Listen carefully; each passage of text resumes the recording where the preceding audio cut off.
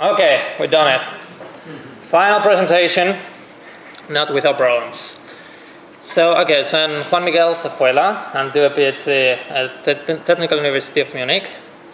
And the work that I will present is from me and from my colleagues Tatiana Goldberg, Shrikant Vinchurkar, and Burkhard Rost at Lab at Technical University of Munich, and also Lars Juhl Jensen from University of Copenhagen. Good. So the thing that we have been discussing during the whole week is this isolation from NLP groups, so that our efforts are finally not linked, and we cannot use the efforts from the other people. Now, the point that I'm going to make for the presentation is that there is also a, an isolation between uh, the NLP people and the database curators, the biomedical databases.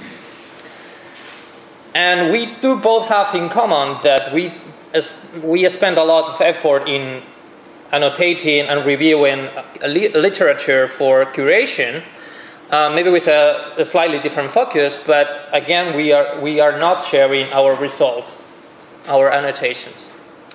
And hopefully we can have what uh, Jin is also proposing, this maybe this central way of sharing the, our results that maybe we NLP people can push our annotations to the central place, and also the database curators can use those results. And as a proof of concept, we developed the LocText corpus, which, as Karin Verspoor said before, we, we did this uh, originally just for the training of some machine learning methods to extract from uh, documents the relations of proteins to localizations in the cell. And then when we finally did uh, some annotations, we found that those annotations that we have of protein lo locations uh, were uh, the 42% of those were novel or more detailed as compared to those uh, existing in, on UniProt.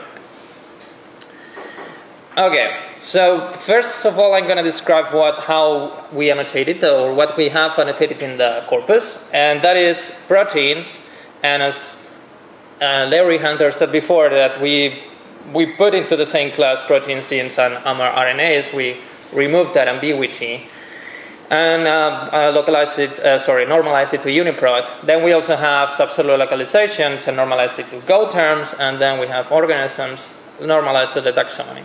And then for the relations, the most important one is this, the protein location relations, and also protein organisms to make the normalization of, of the proteins possible. As for the number of uh, the number of documents is 100 abstracts. We are now also annotating full text documents, and this is done manually. And we have annotated documents for three kinds of organisms: human, yeast, and Arabidopsis. If you want to get all the results and more information, you can go to the, this web page, and also you can uh, already get the annotations from the PubMed annotation system. Here there is a sample representation of our annotations via the tagtog interface.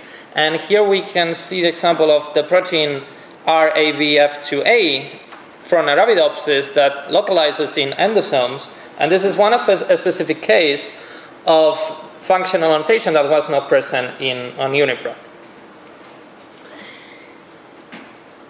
How we collected the documents for annotation. First, we went to UniProt, the SwissProt actually, and for the, uh, for the organisms hum, uh, human gist and Arabidopsis, and we got the publications that were cited for subcellular lo localization. So the reviewers of, of UniProt cited those documents because they contain information about localizations.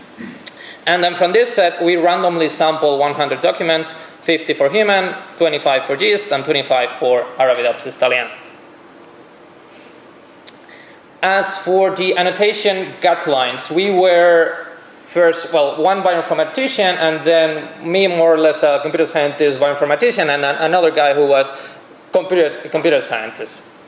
And we had an iterative process of annotating 46 documents and reviewing all the time the annotation guidelines, what we have to annotate, what not, and so on. So for example, we had simple cases of, okay, annotate long and short names, but we really wrote that down so that is uh, completely clear. And then other defining rules of our corpus, which is for example, on, on, only, um, uh, annotate protein names only if we can find them on UniProt, which also removes the uh, ambiguity.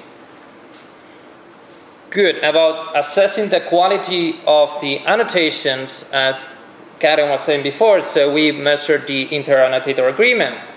And we specifically did this considering uh, for if two entities match, we consider whether they match exactly, so the offsets have to be exactly the same, which is more restrictive. And also for the relations, they have, to, they have to be the same entities, and again, the offsets of the entities have to be the same. And then we calculated the F1 measure. Then for the remaining documents, which are the 54 documents, uh, those were annotated by two annotators, uh, repeated annotations. And the inter-annotator agreement numbers that we got were 96% for proteins, which is a very high number. But again, this was resulted from this rule that we had that only annotate proteins if we can find them on UniProt. Before it was lower when we did not have that rule. And we have 88% uh, for locations, which is also quite high, and 80% for protein location relations. So overall, it was a long annotation process. It did take time, but I think the quality of the annotations uh, were at the end quite very high. Okay, so once that we had the corpus of annotated documents, we compared those, the protein locations, annotations to UniProt. And we made this distinction of whether our protein locations annotations were either existing in, in, in UniProt, or either our annotations were more detailed than UniProt, or whether they were totally novel, so new information that was not contained on, on UniProt. And to make this distinction more clear, here I have a snapshot of the GO ontology tree. And let's say that we annotate in our documents endosome, as the sample before, and UniProt only has, for example, vascular membrane. So in that case, endosome will be a novel annotation because the, the path from here doesn't go through endosome. Let's say if uh, UniProt had, for example, cytoplasmic part and we had endosome, then in that case that will be a more detailed annotation. Otherwise, it will be an existing annotation that was, that was already on UniProt. And as for the results, on this table for the horizontal rows, I, we have the results for the organisms. And then the vertical columns, we have this, this section of existing or more detailed or novel. And then these subdivisions of yes and no was whether if the protein location information that we found, whether was, in, whether was present on a paper that was cited on UniProt for, for this protein, yes or no. And we have this uh, striking number of, well, this, these are the total number of protein locations that we have, the sum of it. And this will be the, what we say that are novel annotations or, or more detailed uh, information. And also, if you, uh, you can see that for the novel annotations, most of them were compared compared to the existing ones, uh, you see that the number of yes and no is more or less the same or even bigger for no. So that can give us an insight of how UniProt curators annotate their, their documents.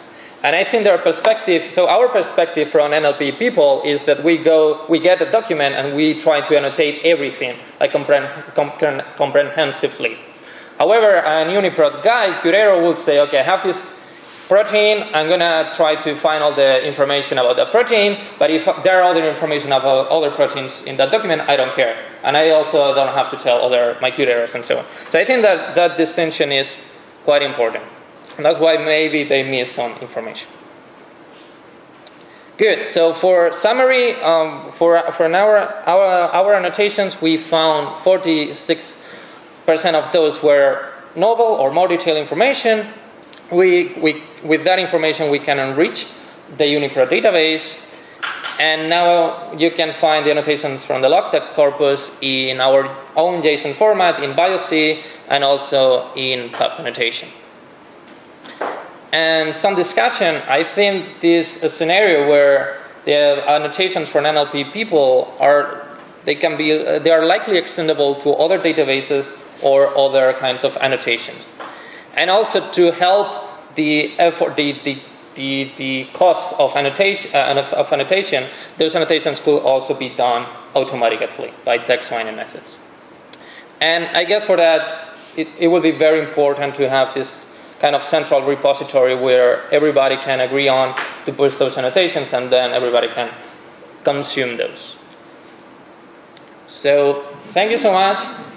And uh, again, I, I, repeat my gratitude to Jin Dong for, for his invitation and for the great organization of, of the week, where we had a good combination of working time and social, socializing time. So yeah, thank you.